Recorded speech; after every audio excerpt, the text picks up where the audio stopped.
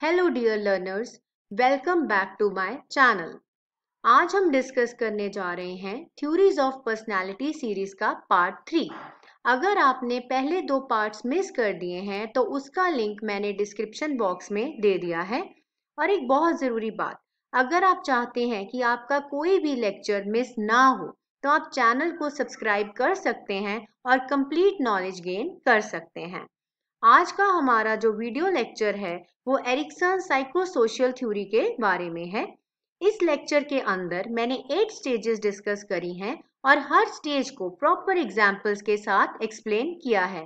तो let's start with today's lecture theory का नाम है Erikson eight stages of psychosocial development इस थ्योरी को देने वाले साइकोलॉजिस्ट का नाम है एरिक एरिक्सन उन्हें स्टेज थ्योरिस्ट भी बोला जाता है क्योंकि उन्होंने स्टेजेस के अंदर इंसान की फितरत को स्टडी किया था। तो जैसे कि पिछले लेक्चर्स में मैंने आपको बताया था कि फ्रोएड की थ्योरी को क्रिटिसाइज किया गया क्योंकि उन्होंने कल्चर के ऊपर स्टडी नहीं की थी। तो इस थ्योरी के अंदर उस पार्ट को बहुत ही अच्छे से इंक्लूड किया गया। साथ के साथ एरिक्सन ने एक बात बोली कि हर एक कल्चर दूसरे कल्चर से अलग है। तो थ्योरी को समझते समय अपने कल्चर के हिसाब से उसको अमेंड यानी चेंज किया जा सकता है। तो देखते हैं कि एट स्टेजेस क्या थी और उसकी इम्प्लीकेशंस क्या हो सकती हैं। स्टेज वन स्टेज वन का नाम है ट्रस्ट वर्सेस मिसट्रस्ट तो ये स्टेज इंसान की ज़िंदगी में पैदा होने से लेके एक साल तक की उम्र आने तक रहती है। एक्सप्लेनेशन देखिए। ये वो स्टेज है जिस स्टेज के अंदर एक छोटा बच्चा ये सीखता है कि अब हम बड़ों के ऊपर डिस्कस कर बड़ों के ऊपर हम मतलब अपनी बातों को उसके ऊपर हम ट्रस्ट कर सकते हैं बड़ों के ऊपर। हम, जैसे आपने देखा होगा कि बच्चा जब रोता है तो वो माँ से दूध माँगता है तो ये होता है उनके ऊपर ट्रस्ट करना। इस स्टेज के अंदर ये देखा गया कि जो मदर्स रिस्पॉन्सिव थी, यानी बच्चे के रोते ही उसके तरफ़ ध्यान देती थी, उसका उसका देखभाल करती थी अच्छे से तो उन बच्चों के अंदर फीलिंग ऑफ़ ट्रस्ट जो थी वो आने लग गई थी। वो बच्चे वर्ल्ड को सेफ़ समझने लग गए थे और लोगों के बिहेवियर को प्रिडिक्ट करते थे कि मैं रोऊँगा तो घर में कोई ना कोई मुझे उठा ही लेगा। अब क्या हुआ? जो बच्चे जिनको प्यार नहीं मिला या जिनके ऊपर किसी ना किसी तरीके की क्रुएलिटी हुई या उनकी जो ज़रूरतें थी, उसे किसी ने पूरा नहीं किया, उन बच्चों के अंदर फीलिंग ऑफ़ मिसट्रस्ट आने लग गई। वो लोगों के ऊपर ट्रस्ट नहीं कर पाते थे। अब देखो हमने इसकी इम्प्लीकेशन ऑर्गेनाइजेशनल लाइफ में कैसे आती है, इसको समझना है। अब इसके अंदर ट्रस्ट और मिसट्रस्ट की स्टेज कब आती है? जब हम एक जॉब में नए नए गए होते हैं। उस समय हमें नहीं पता होता कि वहाँ के लोग कैसे हैं। हम उनके ऊपर डिपेंडेंट होते हैं कि वो हमें बताएँ कि यहाँ पर काम किस तरीके से होता है। अब होगा क्या?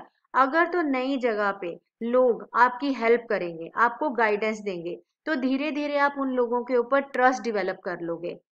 लेकिन अगर इससे उल्टा हो गया कि किसी ने आपकी हेल्प नहीं की, किसी ने जब ज़रूरत पड़ी, आपके साथ खड़ा नहीं हुआ तो आपके अंदर मिस ट्रस्ट की जो फीलिंग है वो डिवेलप हो जाएगी। तो इस तरीके से फ़र्स्ट स्टेज में ट्रस्ट को बोला गया कि जब आपकी ज़रूरतों का लोगों ने ध्यान रखा मिस ट्रस्ट को बोला गया कि जब आपकी ज़रूरतों का दूसरों ने ध्यान नहीं रखा तो ये थी पहली stage now come stage two stage two का नाम है एटोनमी वर्सेस शेम शेम की जगह डाउट वर्ड भी यूज़ किया गया है। ये स्टेज आती है एक साल से लेके तीन साल तक के बच्चे की।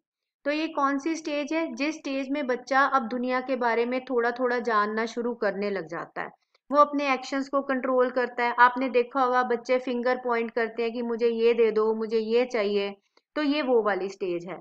अब इस स्टेज के अंदर क्या होगा? अगर तो बच्चे को स्नब मतलब दबाया जाएगा। वो जो करेगा, उसको मना किया जाएगा कि ऐसे नहीं करना, तू गलत है या उसे घूरा जाएगा। तो उसके अंदर जो सेल्फ एस्टीम है, वो कम होने लग जाएगी। वो इनिशिएटिव नहीं लेगा, वो कुछ और नया नहीं करेगा, वो स्लो हो जाएगा लाइफ में। तो ये वो स्टेज है। अब ऑर्गेनाइजेशन लाइफ में इसकी इम्प्लीकेशन क्या होगी?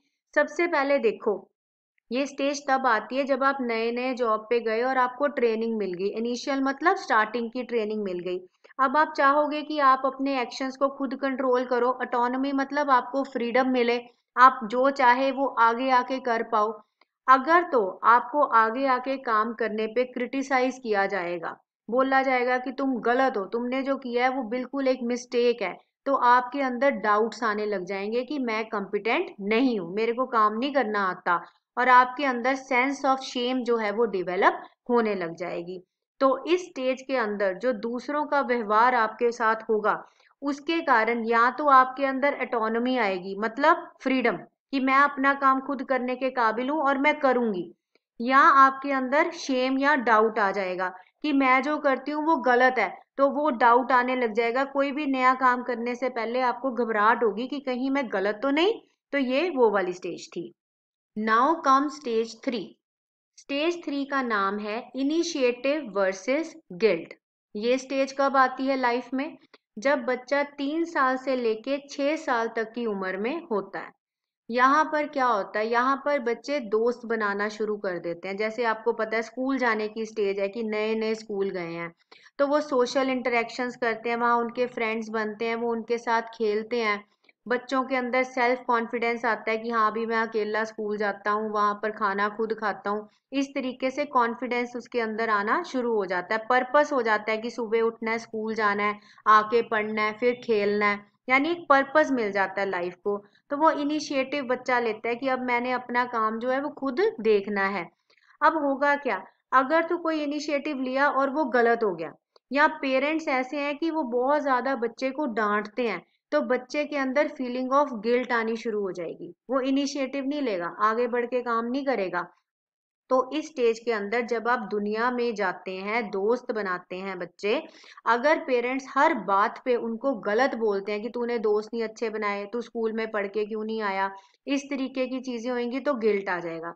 अगर उनको शाबाशी मिलेगी तो उनके अंदर इनिशिएटिव की भावना और ज़्यादा आ जाएगी। तो ऑर्गेनाइजेशनल लाइफ में क्या होगा?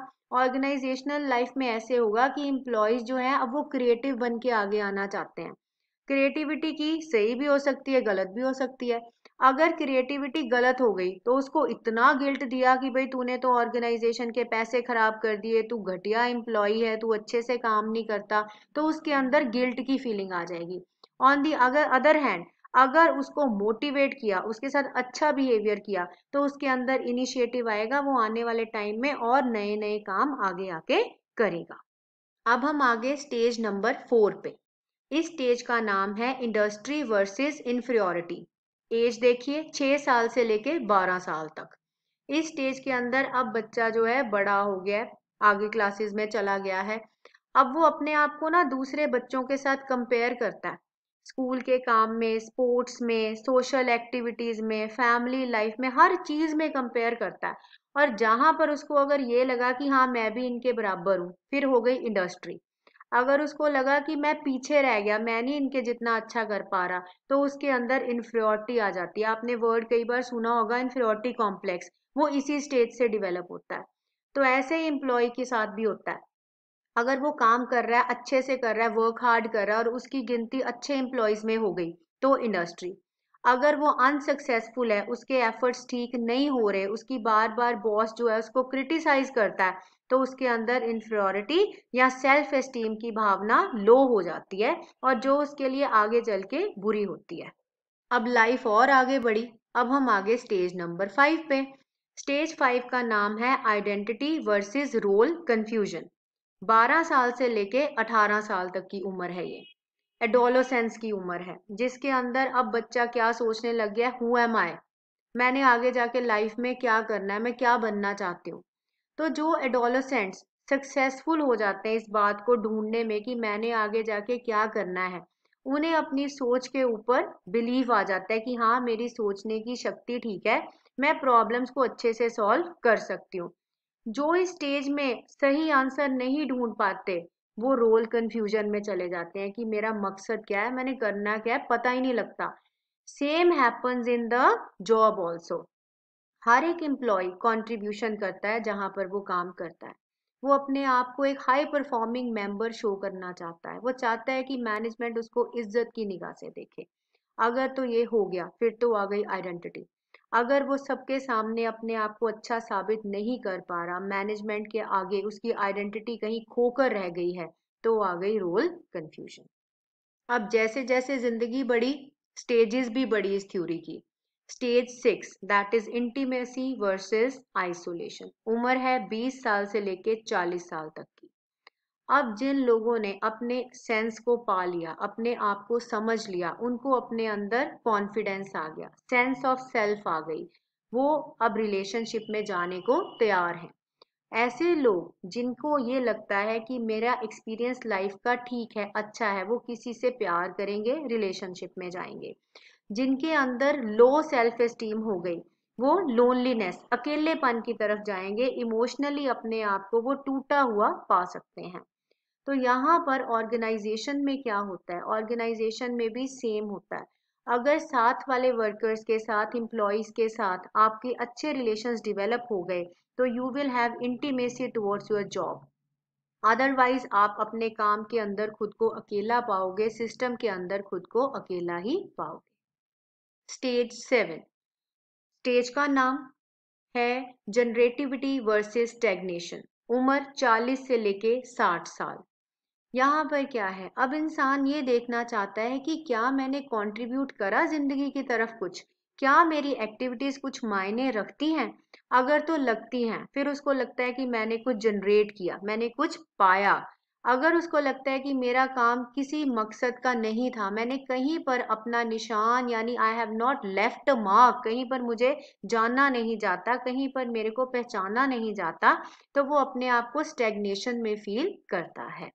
ऑर्गेनाइजेशन के अंदर जब आप इस स्टेज में होंगे तो जनरेटिविटी की स्टेज में आप ये सोचोगे कि अब मैं किसी को सिखाऊं, कुछ नया सिखाऊं।